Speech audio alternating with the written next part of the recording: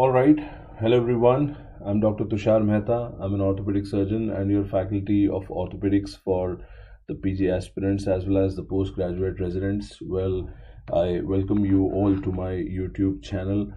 And uh, in this particular effort that we are starting from today, we are going to begin a discussion of orthopedics chapter wise. So, first of all, we are taking this chapter, which I got to know that most of you are struggling with orthopedic oncology.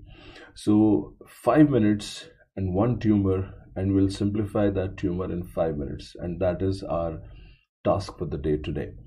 So, I'm sure you all must have seen this tumor by now. This tumor, what you're looking at right now, is what? Come on, yes, everyone in the chat box. What is the diagnosis of the tumor that you're looking at right now? Okay, First of all, do you see any growth plate? Well, I don't see any growth plate. So one thing is for sure that this patient has to be skeletally mature. Since I do not see any growth plate, that means that the age group has to be more than 18 years. I will be more specific here. Age group is 20 to 40 years. Although the x-ray does not mention the sex of the patient, but let me tell you, females are more commonly involved as compared to males. Now, if you see this particular X-ray, you can very well tell me that the tumor is located not only in epiphysis but extending up to the metaphysis. I'm sure you can see that. So when I say that, I can definitely make it like this, that this tumor is epiphysiometaphyseal in location. I can certainly say that this tumor is more close to one side of the bone as compared to the opposite side of the bone. So the tumor is going to be an eccentrically located tumor. I'm sure you all can appreciate that this tumor has occupied almost the entire condyle of the femur and even bone more than that. So it is definitely an expansile tumor which is expanding and the fourth e i want you to understand that it shows something which is called as eggshell crackling. Cut cut cut cut cut. Now there is a fifth e. Technically what they say is that in this topic what they say is that you have four e's. If you ask me no there is a fifth e also. There's a fifth e there's a five e. What is that fifth e? It extends just up to the subarticular margin and that is the beauty of this tumor in most of the cases that it does not go exactly into the joint line. I'm sure you all can appreciate the joint line here. So it is extending up to the joint line but does not extend into the joint line. So that is again another benefit of this the, the, the, the tumor even though it is aggressive. Okay this is the problem. Now before i go further looking at the picture i can make one thing for sure that it is not typically benign just like a chondroblastoma or other thing it is not typically malignant like uh, osteosarcoma. It is something which is locally aggressive it is something which is locally aggressive. It is something which is locally invasive. That's one thing that i want to mention. Now apart from this i'm sure if you can see there's a significant cortical thinning all around it. So you can see the significant cortical thinning and even there is some soft tissue invasion and even there is some uh, cortical break at certain areas. But now apart from this what is the most important thing is i'm sure if you see this it is a kind of a destruction which is well defined.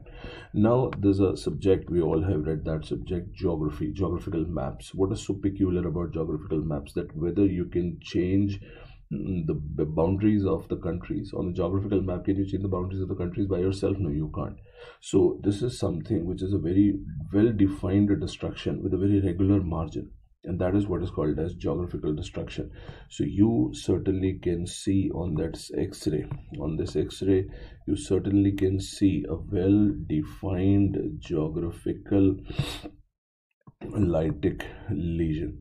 But along with that of course you cannot say air you cannot see water on an x-ray. But I'm, I'm sure one thing is which i can make it out here there's a single large air-filled sinusoid it can have septum it cannot have septum so we have a single large air-filled sinusoid now this single large air-filled sinusoid is what we call as as dr uh, you know, uh, Dr. Harleen Baba, I think, has mentioned it is absolutely right. This is what is called as soap bubble appearance.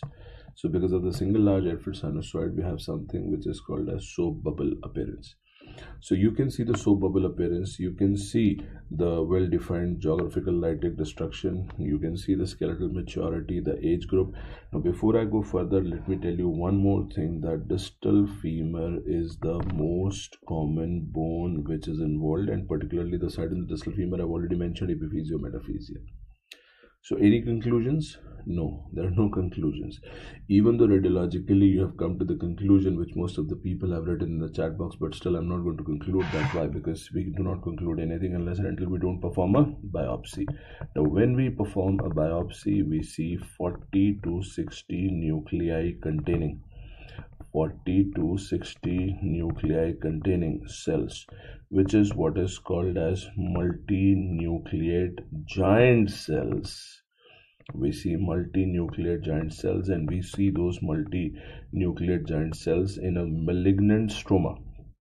We saw those we see those giant cells in a malignant stroma of mononuclear cells in a malignant stroma of mononuclear cell. Now, when I come to this conclusion, then of course I can say that I'm dealing with giant cell tumor or I'm dealing with another name of this tumor, also what is called as osteoclastoma. Management is very simple. You have to go for a wide excision. You just cannot, you know, you you you just cannot be uh, I mean, you cannot leave it as such for sure. So you will have to go for a wide excision. Along with wide excision, I would like to mention one more thing that is extended curettage. Not only curettage, Dr. Herline, extended curettage is required. You have to ensure that every single layer is scraped properly, and that has to be, you know, followed by a combination of allo plus autograft all right so wide excision extended curettage a combination of autograft plus allograft. Allograft alone is not good. Autograft alone is not good. A combination of the morselized grafts have to be put inside to treat this tumor. Recurrence is around 33% yes that's for sure. But yes this is the first tumor that we have discussed today. So we'll be doing these youtube live sessions where we'll be we'll, we'll be taking one tumor we'll be covering that tumor in five minutes and then the next video will take another tumor. And this way we will take individually all the tumors and we'll finish this chapter of oncology.